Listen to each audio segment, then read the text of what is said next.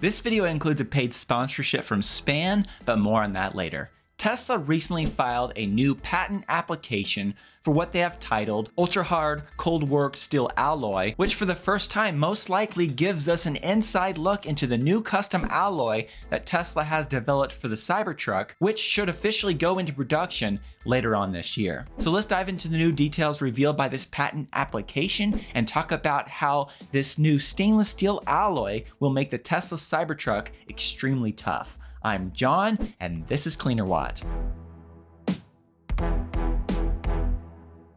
As we begin, I want to say a special thank you and give a special shout out to Halter Ferguson Financial, who recently became an ultimate level Patreon supporter. Thank you so much for your support, it makes a big difference. And also, thank you to the rest of you who also support me on Patreon. When the Cybertruck was revealed back in November of 2019, Tesla talked about the 300 series cold rolled stainless steel that would make up the vehicle's exterior and exoskeleton. However, instead of just using an off the shelf uh, 300 series stainless steel, in true Tesla fashion, they decided to reinvent the wheel, so to speak, and create their own unique alloy to make the absolute best product for their exact application. Of course, in our application here, we're talking about the Tesla Cybertruck. Now, you may be aware of this already, but Tesla actually has a dedicated metallurgy team, a team who actually works on designing new metals for exact applications that Tesla needs. For instance, this team developed the aluminum alloy that makes the Model Y underbody castings possible, and obviously this new stainless steel alloy that will make the Cybertruck super strong and durable. Now, when it comes to some of the reasons why Tesla didn't just use an off the shelf existing 300 series stainless steel alloy, um, I believe it comes down to the fact that the Cybertruck needs to be many things. The stainless steel needs to be hard enough to resist damage. It needs to be corrosion resistant, even in salty conditions. It also needs to be bendable and cost effective. Apparently, the perfect alloy with all these characteristics was not on the market, so Tesla designed their own. For example, one of the most common grades of stainless steel, 304 stainless steel. This article mentions, quote, its one weakness is saline. So grade 304 can pit or crevice when used near salt water. Obviously, this would make 304 stainless steel not ideal for the Cybertruck, not only for environments near the ocean, but also um, in winter environments where they salt the roads. Um, that would corrode the stainless steel. So they really can't use a 304 grade stainless steel. Beyond 300 series, there are 400 series stainless steels, but apparently, as this Klöckner Metals article points out, these 400 series stainless steels are, quote, more easily corroded than 300 series grades. Now, of course, there are a number of other 300 series stainless steel alloys, and I don't have the time to dive into each one of those specific alloys and the characteristics, but nonetheless, it's obvious that none of these off the shelf products uh, currently meet Tesla's needs. Now, I want to dive into the details uh, revealed in this patent application, but before I do that, I want to introduce the sponsor of today's video. Thanks to Span for sponsoring this video. If you are thinking about installing a solar and a battery backup system, or if you currently have such a system, you definitely need to check out Span. Unlike traditional electrical panels, the Span Smart Panel allows you to monitor and track your energy usage and solar generation remotely through an easy to use iOS or Android app.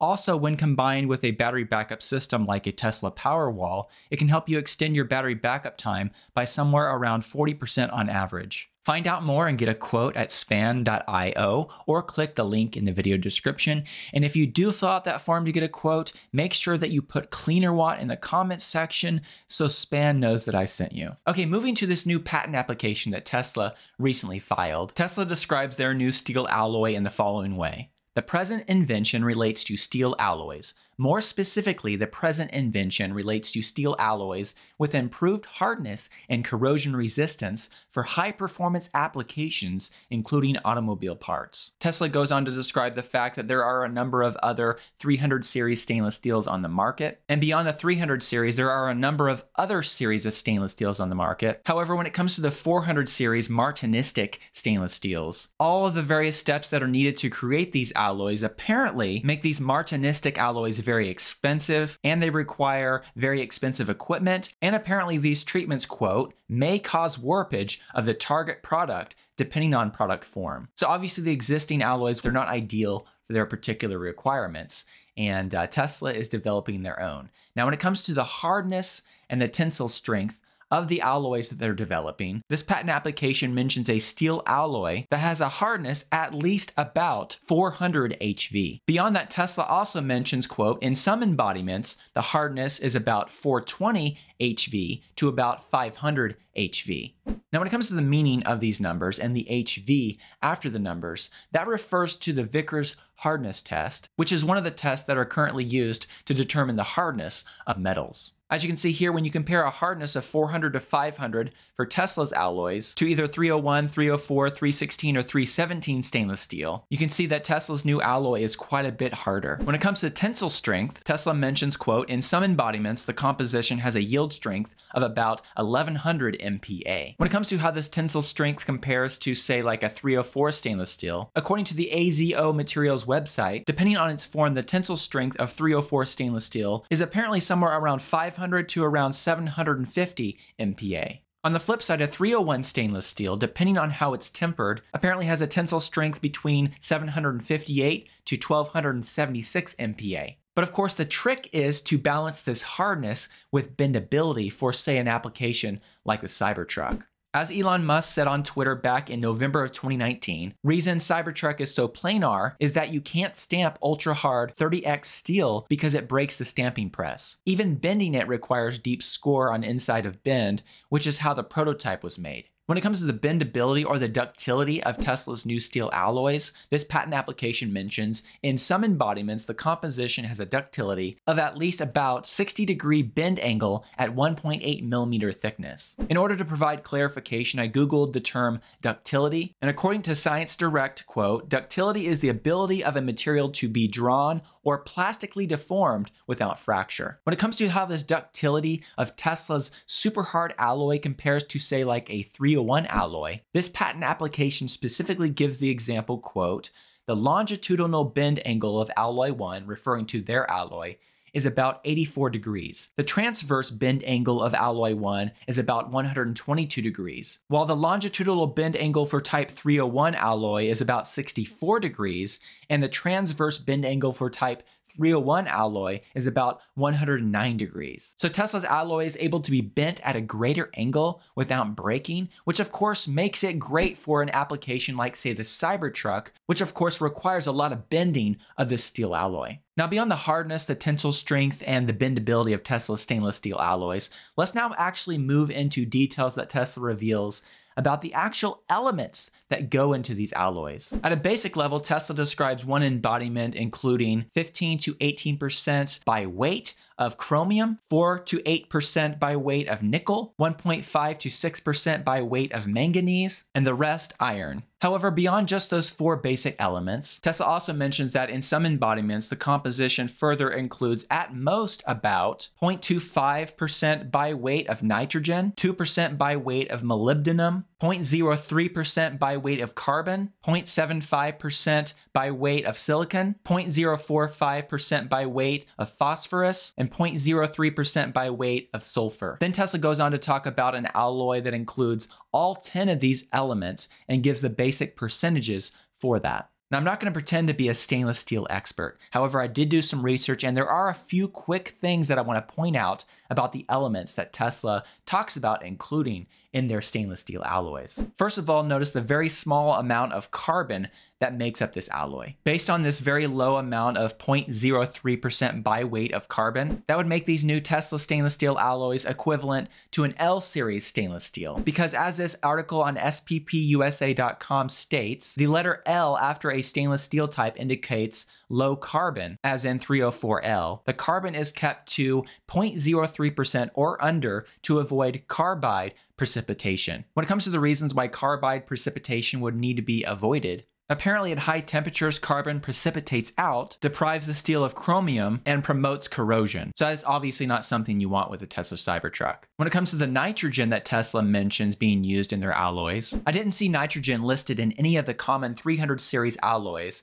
but I did find it in a 400 series stainless steel alloy. When it comes to chromium, chromium is a necessary element for stainless steel, so it's completely common. And as this article once again from SPPUSA.com points out, you apparently need a minimum of 12% chromium to make a stainless steel resistant to corrosion and oxidation. When it comes to the nickel percentage of 4 to 8% by weight, that nickel content is apparently very similar to a 301 series stainless steel. And when it comes to the manganese percentage there of 1.5 to 6% by weight, typical 300 stainless steels apparently have a manganese content of around 2%. When it comes to the silicon content of 0.75% by weight, that percentage of silicon is comparable to a 317 stainless steel. And when it comes to the molybdenum content of 0. 5 to 2% by weight. That falls somewhere around a 321, 347, 316, or 316L series stainless steel. When it comes to the very small amount of phosphorus Tesla uses in their alloys, that 0.045% number is apparently used in quite a few 300 series stainless steels. When it comes to that sulfur content of 0.03% by weight, that is also apparently a very common percentage of sulfur in 300 series stainless steels. Then, of course, the rest of the formula includes iron. Now, beyond that, Tesla goes on in this patent application to describe another embodiment where an alloy may include five additional new elements. Those elements include copper, cobalt, aluminum, titanium, and boron. Interestingly enough, when it comes to the copper, aluminum, and titanium, according to this article on the Clinton Aluminum website, precipitation hardening stainless steel contains aluminum, copper, and titanium as alloying agents. When it comes to the cobalt amount of 0.8% by weight, according to the Piping Mart blog, adding cobalt to stainless steel can increase the metal's resistance to corrosion, and quote, additionally, cobalt containing stainless steels are less likely to suffer from pitting corrosion. Also, this article mentions, quote, another benefit of cobalt in stainless steels that it increases the strength of the metal. And lastly, when it comes to the very small amount of boron, according to this search from worldwidescience.org, which lists some research here from International Nuclear Information System. According to their research here, quote, from test measurements obtained so far, general trends indicate that tensile properties, yield strength, and ultimate strength increase with boron content. Now, when it comes to some of the reasons why Tesla would have a number of these different alloys and talk about in one embodiment this and one embodiment that, I believe it comes down to the fact that they may have slightly different alloys for different parts of the truck. For instance, maybe the exoskeleton contains one type of alloy, and then the body panels themselves include another type of alloy. That would make a lot of sense depending on how you're going to use that alloy, at what angle it needs to be bent, uh, if it needs to be more corrosion resistant than others. And I believe that could be a potential reason why we have several different alloys described in this patent application. At the end of the day, these new alloys or some version similar to them will make the Tesla Cybertruck very scratch, dent, and corrosion resistant, and will make the Tesla Cybertruck exterior much stronger than traditional trucks on the market right now.